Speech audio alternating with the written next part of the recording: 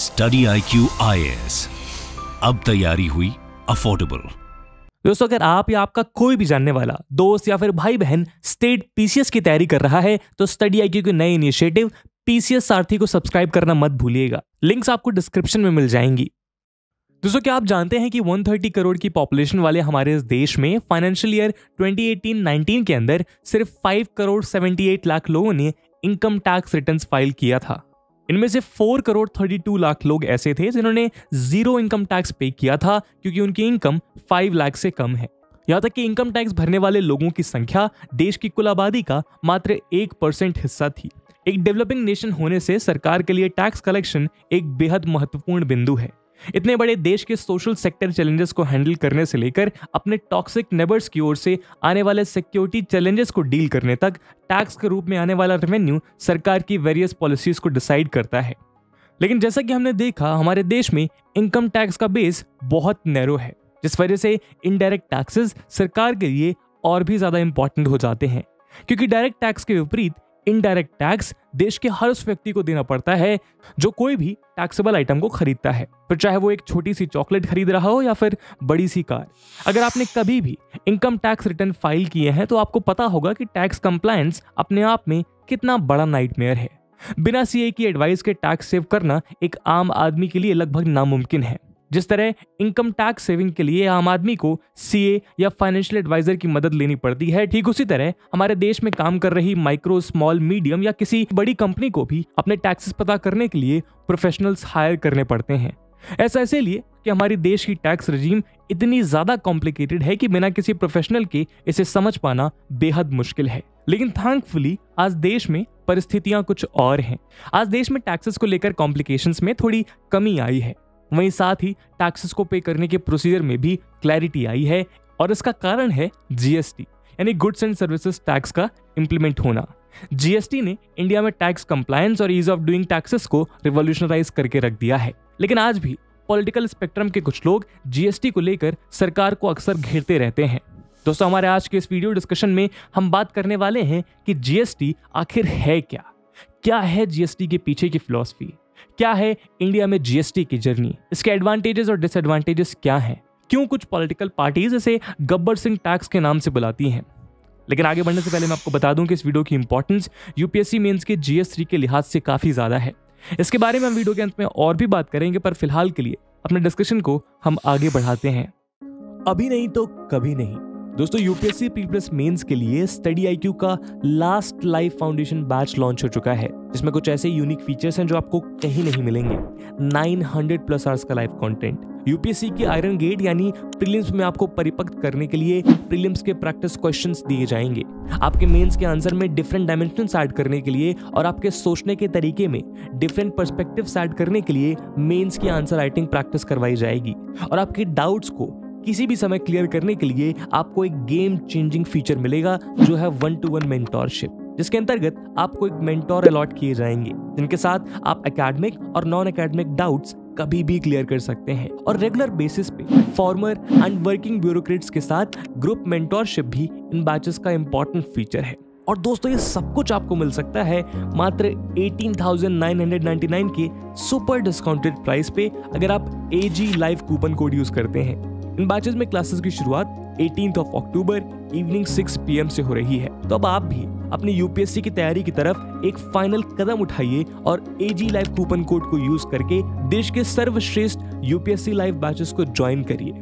बाकी सभी अपडेट्स के लिए आप मुझे मेरे सोशल मीडिया हैंडल्स पे फॉलो कर सकते हैं।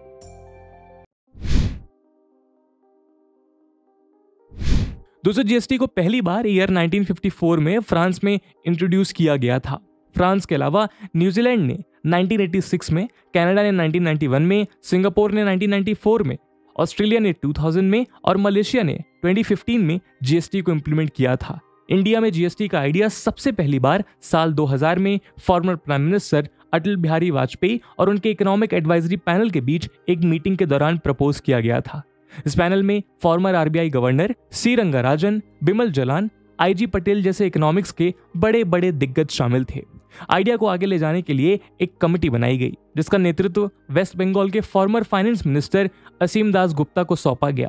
इसके बाद साल 2004 में विजय एल केलकर के अंडर एक टास्क फोर्स बनाई गई। इस टास्क फोर्स ने इस बात पर मुहर लगाई कि इंडिया के एग्जिस्टिंग टैक्स स्ट्रक्चर में बहुत सी खामियाँ हैं, जिन्हें दूर करके एक नए सिस्टम को अपनाना बेहद ज़रूरी है। इसी तरह फरवरी 2005 में तब के फाइनेंस मिनिस्टर पी चिदम्बरम ने पहली बार कहा कि इस पूरे देश में एक यूनिफॉर्म जीएसटी स्ट्रक्चर को इम्प्लीमेंट करना सरकार का medium to long term goal है, जो संपूर्ण प्रोडक्शन डिस्ट्रीब्यूशन चेन को कवर करेगा। इसी के चलते बजट सेशन 2005-6 में फाइनेंस मिनिस्टर ने फ़र्स्ट अप्रैल 2010 को जीएसटी इंट्रोडक्शन की डेडलाइन के तौर पर अनाउंस कर दिया। वहीं जुलाई 2009 में तब के फाइनेंस मिनिस्टर प्रणब मुखर्जी ने जीएसटी सिस्टम का बेसिक स्केल्टन भी अनाउंस कर दिया था। इसी साल नवंबर में असीम दास गुप्ता कमेटी ने जीएसटी रेजीम पर फ़र्स्ट डिस्कशन पेपर को इस उम्मीद के साथ रिलीज़ किया कि एक हेल्दी डिबेट के ज़रिए सभी स्टेक होल्डर से इनपुट लिया जा सके। फरवरी 2010 में गवर्नमेंट ने एक मिशन मोड प्रोजेक्ट इंट्रोड्यूस किया, जिसके तहत स्टेट्स के कमर्शियल टैक्सेस का कंप्यूटराइजेशन करके जीएसटी की फाउंडेशन रखी जा सके। इसके लिए 1133 करोड़ का बजटरी आउटले भी रखा गया। साथ ही जीएसटी इंप्लीमेंटेशन की डेडलाइन को एक साल के लिए बढ़ा दिया गया। यानी अब जीएसटी को इंप्लीमेंट करने की डेट अप्रैल 2011 तक एक्सटेंड कर दी गई। मार्च 2011 में यूपीए की सरकार ने जीएसटी के इंट्रोडक्शन के लिए 115 कॉन्स्टिट्यूशनल अमेंडमेंट बिल पेश किया। दोस्तों, हम यहाँ आपको ये बता दें कि क्योंकि टैक्सेशन के प्रिंसिपल्स कॉन्स्टिट्यूशन में इंश्राइंड हैं और ये प्रिंसिपल्स फेडरल स्ट्रक्चर के अनुसार हैं, इसीलिए इन्हें बदलने के लिए कॉन्स्टिट्यूशनल अमेंडमेंट की ज़रूरत पड़ती है, जिसे एटलीस्ट 50 परसेंट स्टेट्स को भी रेटिफाई करना पड़ता है। सिर्फ़ एक ऑर्डनरी बिल के ज़रिए इस तरह के चेंजेस को करवाना संभव नहीं है। लेकिन अपोजिशन पार्टीज़ के प्रोटेस्ट के बाद इस बिल को फर्दर पार्लियामेंट्री स्क्रूटनी के लिए स्टैंडिंग कमेटी को भेज दिया गया। ऑपोजिट पार्टीज़ ने सेंट्रल गवर्नमेंट की जीएसटी डिस्प्यूट अथॉरिटी के ऊपर एडिशनल पावर्स और कॉम्पनसेशन अमाउंट को लेकर कुछ विरोध जताए। दोस्तों सारे टर्म्स का मतलब आगे वीडियो में क्लियर हो जाएगा। अक्टूबर 2013 में गुजरात सरकार ने इस बिल को अपोज किया क्योंकि डेस्टिनेशन बेस्ड होने के कारण स्टेट को करीब 14,000 करोड़ पर एनम का नुकसान एक्सपेक्टेड था जिस वजह से स्टेट सेंटर के साथ कॉम्पनसेशन तय करना चाह रहे थे। मई 2014 में पार्लियामेंट डिसॉल्व होने के साथ ही कॉन्स्टिट्यूशनल अमेंडमेंट बिल लैप्स हो गया। इसके बाद इसी साल Narendra Modi led BJP government power में आई और यहाँ से जीएसटी की दिशा में एक नई पहल शुरू हुई। दिसंबर 2014 में new finance minister late Arun Jaitley ji ने 122nd constitution amendment bill parliament में पेश किया। फिर से इस बार अपोजिशन पार्टीज़ की प्रोटेस्ट के बाद बिल स्टैंडिंग कमेटी को भेज दिया गया। फरवरी 2015 में श्री जेटली जी ने अपने बजट स्पीच में फ़र्स्ट अप्रैल 2016 की नई डेडलाइन को इंडिकेट किया। मई 2015 में लोकसभा ने बिल पास कर दिया, जब स्टेट के कंसर्न्स को ध्यान में रखते हुए फॉर द टाइम भी पेट्रोलियम को जीएसटी के दायरे के बाहर रखने का फैसला लिया गया। लेकिन अगस्त 2015 में ऑपोजिशन डोमिनेटेड राज्यसभा में यह बिल पास नहीं हो सका। मार्च 2016 में श्री जेटली ने अपोजिशन पार्टीज़ की एक डिमांड मान ली और जीएसटी रेट को किसी भी कम्युनिटी के लिए 18 परसेंट के ऊपर ना रखा गया।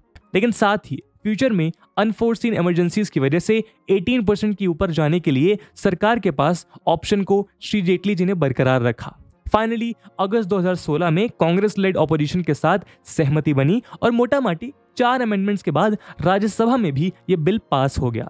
अगले ही महीने प्रेसिडेंशियल असेंट मिलने के साथ 122nd constitutional amendment bill 101st constitutional amendment act बन गया और न्यू कॉन्स्टिट्यूशनल प्रोविजंस के अंडर 2017 में जीएसटी को लागू करने वाले चार कानून पास किए गए। Central GST act integrated GST union territory GST act और GST compensation to states act finally first of July 2017 की रात इंडिया में एक न्यू टैक्सेशन रिवॉल्यूशन आया और जन्म हुआ जीएसटी का। आइए अब बात करते हैं गुड्स एंड सर्विसेज़ टैक्स के पीछे की फिलॉसफी और उसके कॉन्सेप्ट की। दोस्तों, दरअसल टैक्स दो तरह के हो सकते हैं डायरेक्ट टैक्स और इनडायरेक्ट टैक्स डायरेक्ट टैक्स यानी जिस पे टैक्स लगाया जाएगा, वही उस टैक्स को भरेगा। इसका सबसे इजी एग्जांपल है इनकम टैक्स दूसरा है इनडायरेक्ट टैक्स यानी जिस पर टैक्स लगाया जाएगा, वो टैक्स औरों से वसूल करके सरकार को देगा, जैसे रेस्टोरों पर लगने वाला वैट जीएसटी एक इनडायरेक्ट टैक्स है, क्योंकि ये लगाया जाता है रिटेलर मैन्युफैक्चरर या सर्विस प्रोवाइडर पर, और वो ये टैक्स कंज्यूमर से लेकर सरकार को देते हैं। दोस्तों जीएसटी की basic philosophy one nation one tax की है, ताकि टैक्स लेजिस्लेशन और एडमिनिस्ट्रेशन को easy to understand and easy to comply बनाया जा सके, ताकि सरकारी टैक्स इंस्पेक्टर्स के पास डिस्ट्रैक्शन कम होगा, जिससे सो कॉल टैक्स टेररिज्म से देश की इकोनॉमी को छुटकारा मिले और ईज ऑफ़ डूइंग बिजनेसेस बढ़ाने से इकोनॉमिक ग्रोथ को बढ़ावा मिलेगा। साथ ही जीएसटी का इम्प्लीमेंटेशन टैक्सेशन के प्री एग्जिस्टिंग कॉन्स्टिट्यूशनल प्रिंसिपल से एक 360 डिग्री चेंज था। वहीं जीएसटी के इम्प्लीमेंटेशन से पहले फेडरलिज्म के चलते सेंटर और स्टेट्स के बीच के टैक्सेशन लॉज क्लियरली डिमार्केटेड थे, जो अक्सर स्टेट्स और सेंटर के फ़िज़िकल पावर टसल का कारण बनते रहते थे। इन्हीं सब कारणों के चलते जीएसटी को इम्प्लीमेंट किया गया। लेकिन जीएसटी को लाने के और भी बहुत से कारण जिम्मेदार थे। रीजन नंबर एक GST value addition based multi stage tax भी है। यानी किसी भी कॉमोडिटी को बनाने से लेकर उसे मार्केट में सेल करने तक, वो कॉमोडिटी बहुत से प्रोसेस से गुजरती है, जिन्हें हम इनपुट्स और आउटपुट्स कहते हैं। जीएसटी एक ऐसा टैक्स है जो इनपुट और आउटपुट कॉस्ट के बीच के डिफरेंस पर अप्लाई होता है, जबकि वैट के अलावा इससे पहले के सभी इनडायरेक्ट टैक्सेस पूरी तरह आउटपुट वैल्यू पर अप्लाई होते थे। रीजन नंबर दो जीएसटी एक डेस्टिनेशन बेस्ड टैक्स है। इसका मतलब जीएसटी एक ऐसा टैक्स है जो किसी भी गुड या सर्विस की फाइनल डेस्टिनेशन यानी फाइनल कंज्यूमर पर ही इम्पोज होता था। कंज्यूमर से पहले के सभी पार्टिसिपेंट्स को इनपुट टैक्स क्रेडिट के रूप में, उनके द्वारा दिया गया टैक्स रिफंड के रूप में मिल जाता है।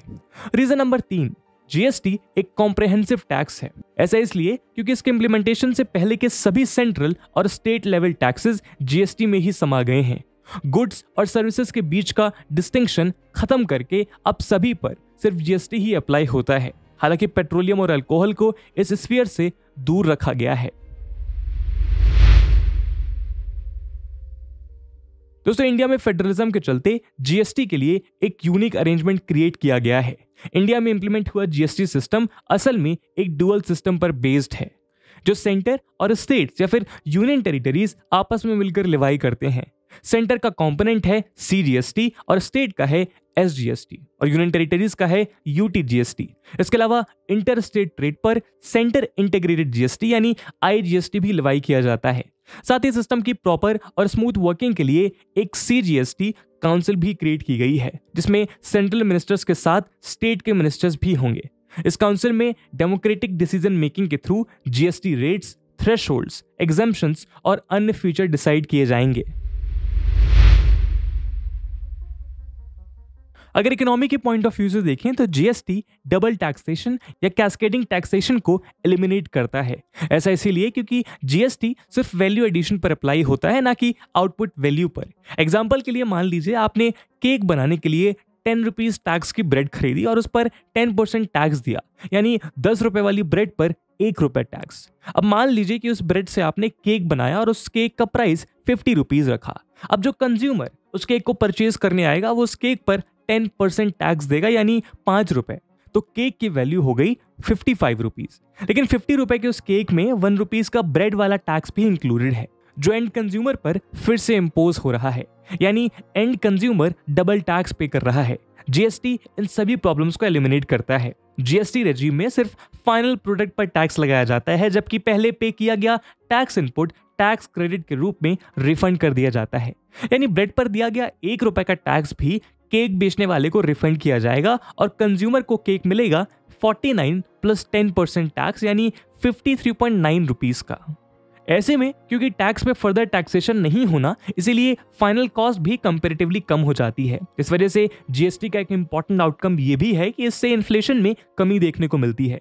दूसरा फ़ायदा है देश में common national market laws tax rates और प्रोसीजर्स में अक्रॉस द स्टेट्स यूनिफॉर्मली होने की वजह से अब one nation one tax one market का ऑब्जेक्टिव पूरा हुआ है। इसी की वजह से देश में ईज ऑफ़ डूइंग बिज़नेस बढ़ा है और साथ ही स्टेट्स के बीच इन्वेस्टमेंट को लेकर टैक्स फोर्स के बजाय कंपटीशन मेरिट आई है। इस कारण स्टेट्स के बीच रिसोर्सेज एफिशिएंटली एलोकेट हो पाएँगे, यानी जहाँ प्रोसेस की एफिशिएंसी ज़्यादा होगी, वहीं इन्वेस्टमेंट के ज़रिए यूनिट सेटअप किए जाएँगे। साथ ही कंप्लायंस और फाइनल कॉस्ट कम होने के कारण इंडियन गुड्स एक्सपोर्ट मार्केट में ज़्यादा कॉम्पिटिटिव भी हो सकेंगे, जिससे फॉरेक्स अर्निंग्स में इजाफा देखने को मिलेगा। जीएसटी की सबसे बड़ी खासियत इसका सेल्फ पुलिसिंग नेचर है, जिस कारण टैक्स एविजन करना डिसएडवांटेजियस हो जाता है। दरअसल जीएसटी में इनपुट क्रेडिट क्लेम करने के लिए आपके सप्लायर की जीएसटी टैक्स इनवॉइस ज़रूरी है।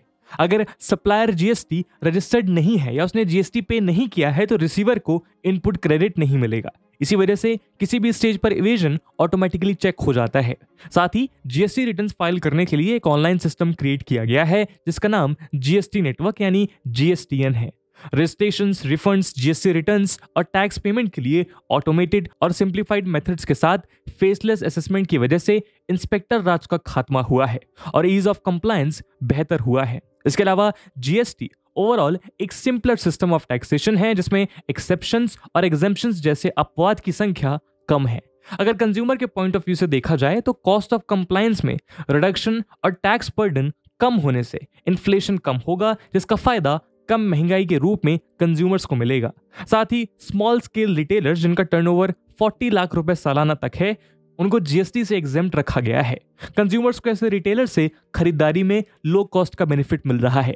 साथ ही हम सबके लिए बिल पर लगाए गए टैक्सेस को समझना आसान हो गया है। दोस्तों जीएसटी अपने आप में एक रिवॉल्यूशन है, लेकिन कुछ ऑपोजिशन पार्टीज़ की माने तो GST goods and services tax नहीं, बल्कि गब्बर सिंह टैक्स है। आज ऑपोजिशन पार्टीज़ ये क्लेम करती हैं कि जीएसटी का कॉन्सेप्ट तो खराब है ही, लेकिन गवर्नमेंट की तरफ़ से इसका इम्प्लीमेंटेशन और भी ज़्यादा खराब रहा है। तो चलिए देखते हैं कि इस बात में कितनी सच्चाई है। जीएसटी रिटर्न्स फ़ाइल करने के लिए और इनपुट क्रेडिट क्लेम करने के लिए डिटेल्ड अकाउंट कीपिंग ज़रूरी है। बहुत से छोटे बिजनेसेस के पास ना अकाउंटिंग की नॉलेज है और ना डिजिटल लिटरेसी जिस वजह से इन कामों के लिए प्रोफेशनल्स हायर करने पड़े। इस वजह से कॉस्ट ऑफ़ बिज़नेस इंक्रीज हुई है।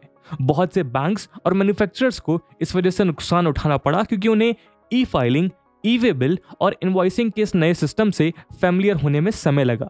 इनिशियल डेज़ में जीएसटीएन और ई वे बिल के ऑनलाइन प्लेटफॉर्म्स में टेक्निकल ग्लिचेस भी देखने को मिले। कुछ केसेस में जीएसटी के अंडर कंप्लायंस कॉस्ट में इंक्रीज भी हुआ। अब जीएसटी रिटर्न्स में करीब 37 रिटर्न्स पर ईयर फ़ाइल करने पड़ते हैं, जबकि पहले ये सिर्फ़ तीन पर मंथ और एक एनुअली था। वहीं जिनके ऑपरेशन अक्रॉस स्टेट्स होते हैं, उनके लिए नंबर ऑफ़ रिटर्न और ज़्यादा इंक्रीज हो जाते हैं क्योंकि उन्हें हर स्टेट में एस जीएसटी की रिटर्न्स सेपरेटली फ़ाइल करनी होती है। साथ ही वन नेशन वन टैक्स की जीएसटी की ओरिजिनल फिलोसफी के अगेंस्ट फ़िलहाल जीएसटी के चार रेट्स हैं। फाइव ट्वेल्व 18 और 28 परसेंट वहीं ड्रिंकिंग अल्कोहल पेट्रोलियम प्रोडक्ट्स और इलेक्ट्रिसिटी को फ़िलहाल जीएसटी रेजिम के बाहर रखने के कारण मल्टीपल टैक्सेस भी एग्जिस्ट करते हैं। अगर सर्विसेज़ सेक्टर की बात करें तो ज़्यादातर सर्विसेज़ पर 18 परसेंट टैक्स लगाया जाता है, जबकि इसके पहले लगने वाले service tax 14 percent plus one percent cess यानी 15 परसेंट था। ऐसे में ये बात भी इन्फ्लेशन कम करने के एम के अगेंस्ट जाती दिखाई पड़ती है। दोस्तों जीएसटी डेस्टिनेशन बेस्ड होने का मतलब है इसका कंजम्पशन बेस्ड होना। इस वजह से कंज्यूमिंग स्टेट के कलेक्शंस में फ़ायदा हो रहा है, जबकि मैन्युफैक्चरिंग स्टेट्स जहाँ पॉपुलेशन या अर्बनाइजेशन कम है, नुकसान में है। इस वजह से जीएसटी कॉम्पनसेशन के लिए अलग से प्रोविजंस बनाए गए हैं, जो इस पूरी प्रोसेस में फर्दर कॉम्प्लिकेशंस पैदा करते हैं। सर्विसेज़ में अक्सर तीन या उससे ज़्यादा पार्टीज़ इन्वॉल्व रहती हैं। और इस केस में आईजीएसटी और एसजीएसटी कैसे अप्लाई होंगे, इसके लिए प्लेस ऑफ़ सप्लाई रूल्स काफ़ी कॉम्प्लिकेटेड हैं, जो कंप्लायंस कॉस्ट को ऊपर पुश करते हैं। जीएसटी के under input tax credit claim करने के लिए बहुत सी शर्तें रखी गई हैं। बायर को सप्लायर से टैक्स इनवाइस रिसीव होनी चाहिए और साथ ही इनवाइस गुड्स या सर्विसेज़ पर भी सप्लायर ने अपना जीएसटी सरकार को पे कर दिया होना चाहिए। और सप्लायर ने जीएसटी रिटर्न्स फ़ाइल कर दी होनी चाहिए। इन कंडीशंस की वजह से बड़े मैन्युफैक्चरर्स और ओरिजिनल इक्विपमेंट मैन्युफैक्चर यानी ओ जो बायर होते हैं, उन पर अपने वेंडर्स की टैक्स कंप्लायंस की एडिशनल रिस्पॉन्सिबिलिटी आ जाती है। अगर सप्लायर ने अपने टैक्सेस पे नहीं किए तो बायर को अपने टैक्स शेयर के साथ साथ सप्लायर का शेयर भी पे करना पड़ेगा। अगर किसी वजह से लेटर स्टेजेस में सप्लायर के डॉक्यूमेंटेशन में डिस्क्रिपेंसीज मिलती हैं तो बायर को इंटरेस्ट के साथ टैक्स क्रेडिट सरकार को वापस करना होगा। इस वजह से बड़े मैन्युफैक्चरर्स को भी एक तरह से टैक्स पुलिस का रोल निभाना पड़ता है। इसके अलावा एमएसएमईज और स्टार्टअप्स एक्साइज रेजिम के अंडर 1.5 करोड़ के टर्नओवर तक टैक्स पेमेंट से एग्ज़ाम थे, लेकिन जीएसटी रेजिम में ये लिमिट 40 लाख सेट की गई है। इस वजह से स्मॉल इंडस्ट्रीज़ के लिए दिक्कतें बढ़ गई हैं। तो दोस्तों, आज हमने जाना कि कैसे इतने सालों की मेहनत मशक्कत के बाद एक बड़ा इकोनॉमिक रिफॉर्म इंडिया में लाया जा सकता है। लेकिन अभी भी जीएसटी में बहुत से इंप्रूवमेंट का स्कोप है। जैसे कि मल्टीपल स्लैब्स का रैशनलाइजेशन किया जा सकता है। आज जीएसटी के 28 परसेंट स्लैब में कुछ लिमिटेड लग्जरी और सिन गुड्स ही प्लेस्ड हैं, जिन्हें स्लैब से एलिमिनेट करने की कोशिश की जा रही है। पेट्रोलियम प्रोडक्ट्स कंज्यूमेबल अल्कोहल और इलेक्ट्रिसिटी को भी जीएसटी रिजीम के अंडर इंक्लूड करके टैक्स कॉम्प्लेक्सिटी को कम करने की ज़रूरत है। जीएसटी रूल के बावजूद मल्टीपल टैक्स एग्जाम्पन आज भी एग्जिस्ट करते हैं, जिनके मिसयूज का पोटेंशियल बहुत बड़ा है। इन एग्जाम्पन को लिमिट करने की ज़रूरत है। ज़ीरो परसेंट जीएसटी अट्रैक्ट करने वाले आइटम्स को लिमिट करके सिर्फ़ रॉ अनब्रांडेड आइटम्स तक लिमिट करने की ज़रूरत है, जो पुअर पॉपुलेशन ज़्यादा कंज्यूम करती है। ऐसा करने से टैक्स बेस वाइडन होगा। जीएसटी के under number of tax returns to be filed बहुत ज़्यादा हैं, जिन्हें कॉस्ट और ईज दोनों पॉइंट ऑफ़ व्यू से कम करने की सख्त ज़रूरत है। वहीं जीएसटी डिस्प्यूट के स्पीडी डिस्पोजल के लिए स्टेट लेवल जीएसटी सेक्रेटरीट्स और national appellate authority for advance rulings establish करने की मांग उठाई जा रही है, जिस पर भी ध्यान देना आवश्यक है। दोस्तों जीएसटी टैक्स एडमिनिस्ट्रेशन में एक रिवॉल्यूशन है, लेकिन सब रिफॉर्म्स के through ease of doing GST बेहतर हो पाएगा और जीएसटी अपने फुल पोटेंशियल पर पहुँच पाएगा। तो दोस्तों, ये थी एक केस स्टडी जीएसटी के ऊपर। आपके हिसाब से वो कौन से स्टेप्स हैं जो उठाए जा सकते हैं जीएसटी के इंप्लीमेंटेशन के इंप्रूवमेंट में या फिर इसके कॉन्स को कम करने में? कमेंट सेक्शन में ज़रूर बताइएगा। और जैसे कि वीडियो के पहले भाग में आपसे बताया गया कि इस वीडियो की इंपॉर्टेंस यूपीएससी मेंस के लिहाज से काफ़ी ज़्यादा है तो उसकी इंपॉर्टेंस को देखते हुए एक सवाल हम आपके लिए छोड़कर जा रहे हैं, जिसको आपको कमेंट सेक्शन में आंसर करना है। The question is explain the rational behind implementing the GST do you agree that its implementation could have been smoother discuss and with this question my friends that's it for the video I hope आपको video पसंद आया होगा। और अगर पसंद आया है तो अपने दोस्तों के साथ शेयर करना मत भूलिएगा। हम मिलते हैं अगले वीडियो में। तब तक के लिए जय हिंद। जय Bharat. Study I Q I S अब तैयारी हुई अफोर्डेबल